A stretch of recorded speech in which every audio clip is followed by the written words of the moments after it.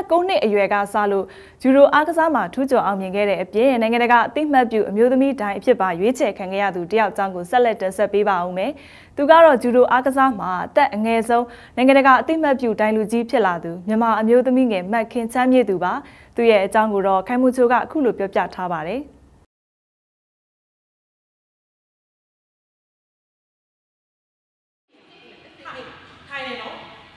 ငယ်စဉ်ကလေးဘဝကလေးကအားကစားကိုဝါသနာပါခဲ့တဲ့မခင်ချမ်းမြေသူဟာဂျူဒိုအားကစားနဲ့အသက်9နှစ်အရွယ်မှာနေမဲ့စတင်ရင်းနှီးကျွမ်းဝင်ခဲ့ပါတယ်။သူမစကစားစဉ်ကတတ်မှတ်အလေးချိန်မရှိတာကြောင့်ပြိုင်ပွဲဝင်နိုင်မှုအရေးဝိတ်တမ်းမမီမီအောင်အတင်းကြိုးစားခဲ့ရကြောင်းလည်းခုလိုပြောပြခဲ့ပါတယ်။ပထမဆုံးပြိုင်ပွဲကို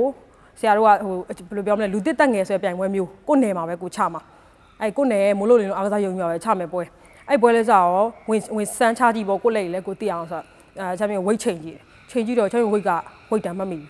သူကဝိတ်တန်မတူရင်ပေးမပြိုင်လဲဆိုတော့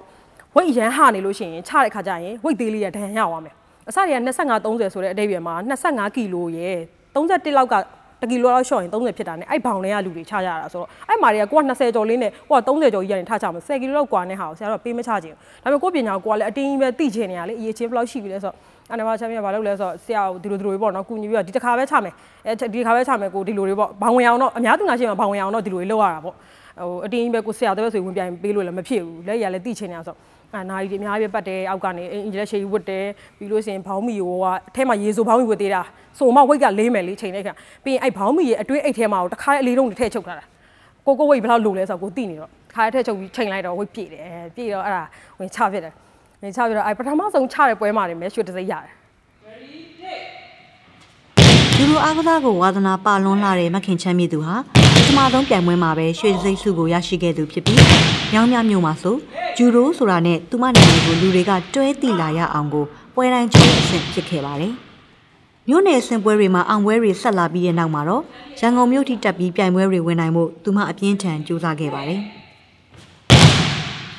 အမတို့ကီဝတ်ဆောင်ကြီးအရန်ချမ်းတယ်ချမ်းတော့အဲ့ဒီကီဝတ်ဆောင်ကြီးကိုကင်နိုင်ဖို့ကြကြမြဲအောင်ကင်နိုင်ဖို့ဆိုလို့ရှိရင်အဲအုတ်ခဲကိုကင်ပြီးတော့မှနီးစင်ကိုလေ့ကျင့်ရတယ် ပြီးလို့ရှင်ဘာလို့လဲဆိုအပင်လေးမှာဆရာခြံထဲကအပင်လေးမှာအမတို့အဲ့ဒီစက်ဘိန်းရဲ့ဟိုပါပေါ့ကျွတ်တို့တာယာတို့အဲ့ဒါတွေကိုပတ်ချီချီပြီးတော့အဟာတွေဆွဲရတယ်လူချင်းလူချင်းလောက်တာတဲ့အသေးအပင်တွေကိုလေအဲ့လိုစောင့်ဆွဲပြီးမှနီးစနစ်တွေဝင်ကြလေ့ကျင့်ကြအချိန်ပေါင်းများစွာပေါ့အဲ့ချိန်ကျတော့အမကကလေးလေးပစ္စည်းလေးလည်းဖြစ်သေးတယ်ကိုဝိတ်ကလည်းဟိုမျိုးဒမီနဲ့ဆိုစားရရလည်းညှက်တယ်လေဒီလိုသေးညှက်ညှက်လေးဆိုအောက်ခဲတလုံးမနှဲကန်ရတယ်အဲ့ဒါဆရာတို့ကသိတယ်ကိုဆိုလို့ရှိရင်ဘာဖြစ်လဲဆိုတော့ဝိတ်တန်းသေးတယ်ကလေးလည်းဖြစ်တယ်မိန်ကလေးလည်းဖြစ်တယ်အဲ့တော့အဲချမ်းမြေသူရောဒီအောက်ခဲတလုံးကိုပဲနှစ်ဖက်ကန် ဆရာပြောချင်တာတလုံးကိုဟိုဘက်ဒီဘက်ကင်လိုက်ရင်ဒါကချမ်းမြေအနေနဲ့ဆိုအတော်ပဲပေါ့ဆိုတော့မရဘူးကွာသူများတွေတစ်ဖက်တစ်လုံးကင်နေရအောင်ငါ့ကိုကြောက်ဒီလိုမျိုးခိုင်ခိုင်းရလားဆရာပေါ့နော်မရဘူးချမ်းမြေဘာလုပ်လဲရအောင်တစ်ဖက်တစ်လုံးကိုဒီလိုလိုက်ကင်တယ်လိုက်ကင်တော့ဘာဖြစ်ဆိုလက်ကအန်သေးသွားတယ်အချိန်ဆရာလိုချင်တဲ့အချိန်90ကိုလည်းရအောင်ပြည့်အောင်ကုတ်ကတ်လဲဝင်ဒါပေမဲ့လက်ပြန်ဆက်လို့မရတော့ဘူးလက်ကပြန်ဆက်လို့လက်ခောက်ခောက်တိုင်းနဲ့အိမ်ပြန်ရတယ်ဘလို့ပြန်ဖြောင်းလို့မရတော့အဲ့လိုမျိုး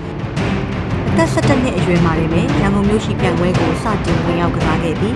ပွဲတိုင်းမှာရွှေစိတ်ရခဲ့တာကြောင့် နေရာစိုက်ပျိုးရေးနဲ့ဆင်မြောင်းဝန်ကြီးဌာနရဲ့ဌာနကုံဆောင်အားကစားသမားတယောက်ဖြစ်လာခဲ့ပါတယ်။ဌာနလက်ရွေးစင်ဆိုပြီးတော့ဝန်ကြီးဌာနကနေချမ်းမြေကိုလာစာတစ်ခုနဲ့တတ်မှတ်ပြီးတော့ခေါ်လိုက်တဲ့အချိန်မှာပဲချမ်းမြေအသက်က17နှစ်ပဲရှိသေးတယ်။အဲ့ဒီအချိန်မှာစခေါ်တော့သူတို့ဟိုတင့်တော်တဲ့ယာဒူးလေးပေါ့။ပြီးတော့အဲချမ်းမြေကအသက်က17နှစ် လူကကြတော့ရုံးမှာကြတော့အဲဒီဟိုယာရုတစ်ခုနဲ့ဖြစ်နေပြီတကယ်ဆိုဘွဲရ10တန်းအောင်ဘွဲရတွေမှပဲခန့်တဲ့ယာရုမျိုးချမ်းမြေအဲ့ချိန်တွေကရနေပြီလစာလည်းရနေပြီအဲ့ချိန်တော့လစာ3000ဆိုတာကျွန်တော်တို့ကရန်တန်မိုးရှိရလေ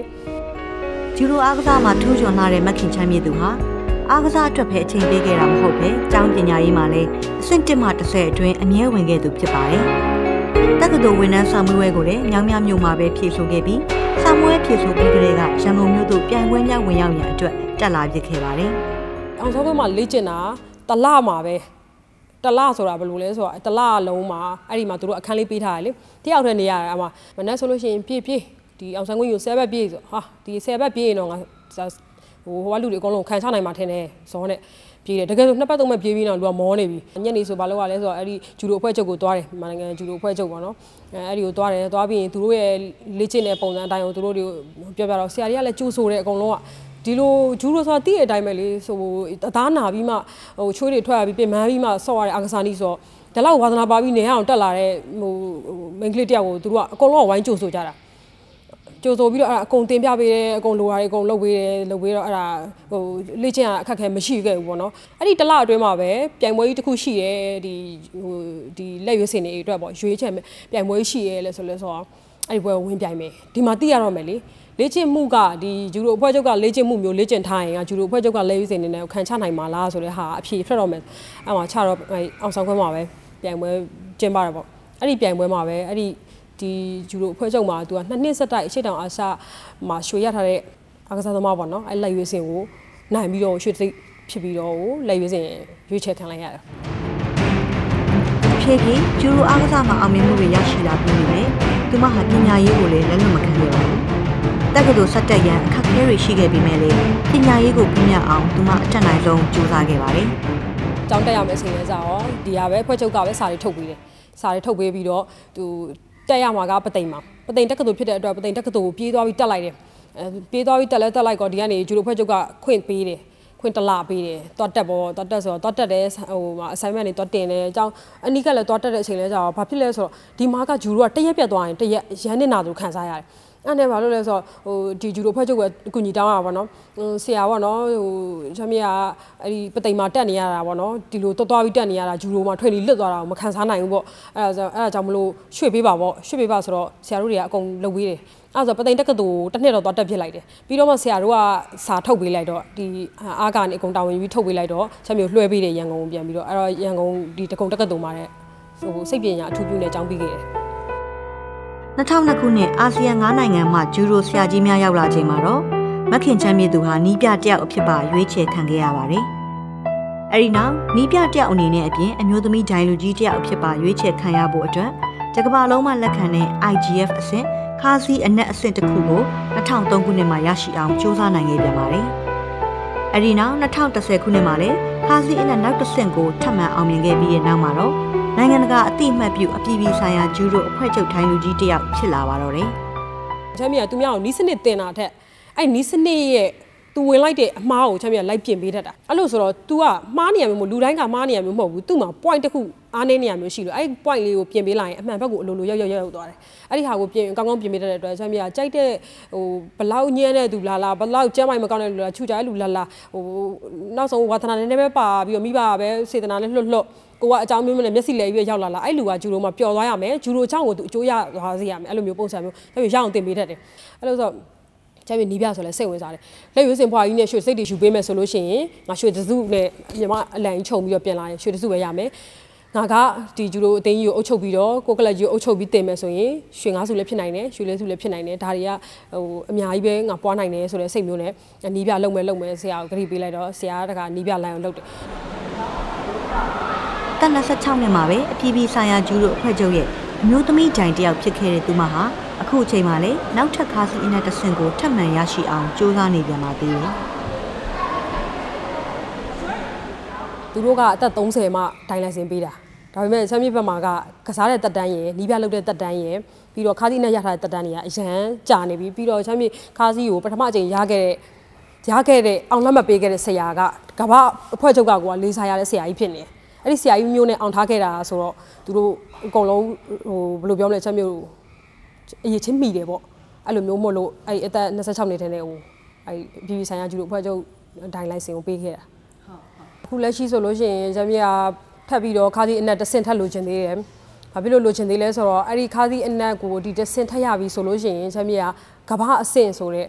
အဲ့ဒီဒိုင်ဆာမျိုးဘဲကိုတဖြည့်လို့ရမှာ။ဒီတစ်ဆင့်ထပ်ရပြီမှ။အဲ့တော့အဲ့ဒီခါးသီး အနက်တစ်ဆင့်ကထပ်ပြီးတော့ဖြည့်ဖို့အခုလည်းပြင်ဆင်နေတယ်။နောက်ကျူရိုဖွဲ့ချုပ်ကတာဝန်ရှိတဲ့လူတွေကလည်းအဲ့ဒီနိုင်ငံခြားဆရာကြီးတွေနဲ့ချိတ်ဆက်ပြီးတော့သူတို့ကအကုန်လုံးဖြည့်လို့ရအောင်ပေါ့နော်။တယောက်ချင်းစီဖြည့်လို့မှမရပဲအမြဲတမ်းပဲအဖွဲ့ချုပ်လိုက်ပဲလေဟိုအကုန်လုံးဝိုင်းဖြည့်ရဆိုတော့အကုန်လုံးအတွက်ပေါ့နော်အခုဆွေးနွေးနေကြတယ်သူတို့ဟိုစီစဉ်နေလုပ်နေကြတယ်ဂျိုင်တယောက်အဖြစ်အပြင်ဂျူရိုနီးပြအဖြစ်လဲဆက်လက်တာဝန်ယူနေတဲ့သူမဟာတင်နန်းသားတင်နန်းသူတွေနဲ့တသားတည်းဖြစ်နေတာကိုတွေ့ရပါတယ် ကျန်ပြီကိုပိုင်ကလတ်လို့တက်တက်ကြီးတော့မဟုတ်ဘူးဒါပေမဲ့ကိုကိုကိုဟာကိုပဲပေါ့အစ်စ်တွေကိုတီးတဲ့မွေးထားရှိတယ်ပြီးခဲ့တဲ့နှစ်နွေရာသီတွေကတပည့်တွေကနေအခုတတိမြဲနေတဲ့တပည့်တွေပေါ့နော်အဲတပည့်တွေနဲ့ကိုတစုတစည်းတည်းလေးမွေးပေးထားတယ်အဲသူတို့တွေအကုန်လုံးကဟိုဂျူရိုလည်းအရန်ဝါသနာပါပြီဂျူရိုပျော်နေကြပြီဆိုတော့အခုထဲမှာဘယ်သူတွေရှိလဲဆိုတော့ခရတေတို့ကနေရောက်နေတယ်ခပတ်နက်တွေလည်းရှိရယ်ပြီးတော့ အဲ MMA ပေါ့လက်ဝဲကနေရောက်နေတဲ့တပည့်တွေလည်းရှိရဲ။နောက်ဘာဝမှနားမလဲပဲနဲ့ရောက်နေတဲ့သူတွေလည်းရှိရဲ။အာကစားဆိုတာတွေကအကုန်လုံးကပူးပေါင်းပြီးလှုပ်လေဒါအကျိုးရှိတယ်ပဲ။ကိုယ်နိုင်ငံရဲ့အလံကိုသူများတွေကကြီးကြီးပြူပြူနဲ့ထပြီးအလေးပြုရတာလေဒီအာကစားတစ်မျိုးပဲရှိရလေ။ဒီအာကစားနဲ့ပဲလှုပ်နိုင်တာလေ။အဲ့ဒါဆိုတော့အဲ့ဒီအတွက်ကိုလူငယ်တွေခေါင်းထဲမှာထည့်ထားပြီးတို့တွေကိုတထောင်တနေရာလေးကနေကိုကိုအင်အားလေးပဲနည်းနည်းဆက်ရမှာဘာမှတည်ရမလားထူဟိုထူးထူးခြားခြားကြီးအချိန်ပေးလိုက်ရမျိုးလည်းမဟုတ်ပဲနဲ့ဒီလိုမျိုးလေးတစ်ခုခုလေးလှုပ်လိုက်လို့ရှိလို့ရှိရင် တို့နိုင်ငံအလံကိုသူများနိုင်ငံကလူတွေနိုင်ငံတကာလူတွေအကုန်လုံးကဟိုဘယ်လိုပြောမလဲတရိုတသေးထားပြီးအလေးပြုရတဲ့ feeling ကိုခံစားကြည့်စမ်းပါလို့အဲ့အာကစားတစ်ခုလေးလှုပ်ယုံလေးနဲ့ခံစားကြည့်စမ်းပါလို့အမကတိုက်တွန်းချင်တာအဲ့လိုမျိုးတိုက်တွန်းချင်တယ်အားကစားနဲ့ပတ်သက်ပြီးသူမရဲ့ခံယူချက်အတွေးခေါ်တွေကလည်းလေးနံတွန်းတဲ့အပြင်သူမရဲ့ပုံသဏ္ဍာန်ကလည်းဂျူရိုကစားနေတဲ့အချိန်မှာတကယ့်ကိုကြောက်ရွံ့မှုကင်းတဲ့ကြားရိုင်းမလေးလိုပါပဲ ဒီကြားရိုင်းမလေးဟာအခုဆိုနိုင်ငံအတွက်ခုံယူစရာတမိကောင်းကြောက်အဖြစ်ဘဝကိုဖျက်ဆီးခဲ့ပြီးပါပြီ။ဒါအပြင်နိုင်ငံအတွက်ရွှေတစိမ့်တွေကိုပိုက်ချီလာမယ်မျိုးဆက်တစ်တွေကိုလည်းဆက်လက်မွေးထုတ်ပေးနေစေ။အပြည်ပြည်ဆိုင်ရာအမျိုးသမီးဂျိုင်တယောက်အဖြစ်လဲတာဝန်ထမ်းဆောင်နေသေးပါပဲ။ さあ，拿老东西呗，喏，阿吹。